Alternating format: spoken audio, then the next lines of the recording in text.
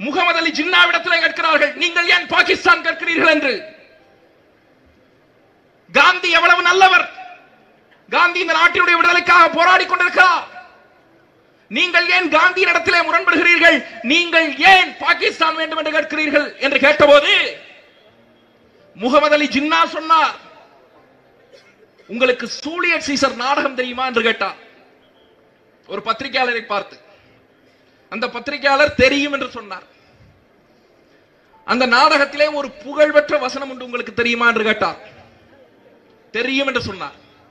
என்ன வசனம் என்று கேட்கப்பட்ட போது சூலியட் சீசரை புரூட்டஸ் கத்தியால் குத்தி விடுவான்.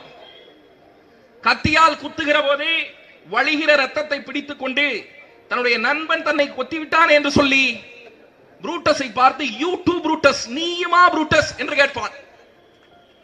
அது ஒரு புகழ்பெற்ற வசனம்.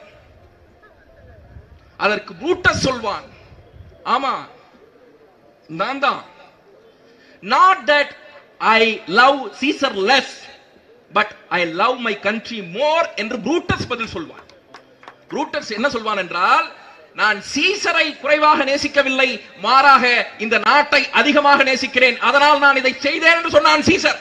அதேதான் முக அலி ஜின்னா சொன்னார்? நான் காந்தியை குறைவாக நேசிக்கவில்லை மாறாக இந்த நாட்டை அதிகமாக நேசிக்கிறேன் அதனால் எனக்கு பாகிஸ்தான் வேண்டும் என்று கேட்டார். அதற்கு அவர் காரணம் சொன்னார். என்ன சொன்னார் தெரியுமா? காந்தி ஒரு சனாதனவாதி. காந்தி சாதி அமைப்பு முறைகளை வர்ணாசிரமத்தை ஆதரிக்கிறவர். ஆகையினாலே அந்த அமைப்பு முறைக்குள்ளாக அந்த சிக்கலுக்குள்ளாக என்னால் மாட்டிக்கொள்ள முடியாது என்று சொல்லி தங்களுக்கு தங்களுக்கென்று ஒரு நாட்டை இடைந்தார்கள்